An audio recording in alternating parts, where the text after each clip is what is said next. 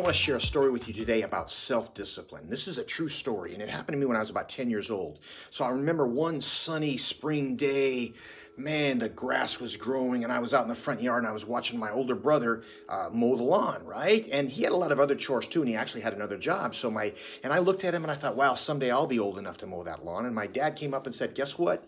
Uh, this is now your job, your new job, your new chore is going to be to mow the lawn. And I got to tell you, I was really excited. I felt really proud that I was able to do that. And, and so he showed me how to start it and how to steer it and how to empty the bag. And, and I'll tell you what, the first time I mowed the lawn, it was so much fun. And the second time, it was pretty fun too. And the third time, it was okay. But by the end of the summer, I didn't want to mow the lawn anymore. It just became work. And even if I got an allowance for it, I was thinking maybe I could get out of doing it and still collect my allowance, right? So I went up to my father and I said, Dad, I just got to talk to you. I don't want to. I don't want to mow the lawn anymore.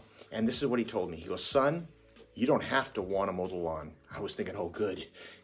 He said, you just have to do it.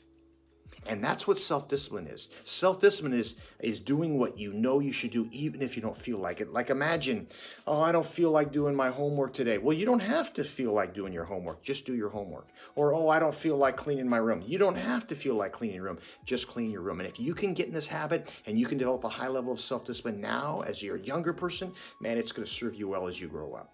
Thanks for listening and I'll talk to you next time. Bye-bye. Yo, what's happening, Dojo streamers? If you like today's video, don't be shy about it. Hit the like button, leave us a comment what kind of styles of martial arts you want to train with next. But if you really want to help us out, like really, really, then punch that subscribe button. That would make sure to...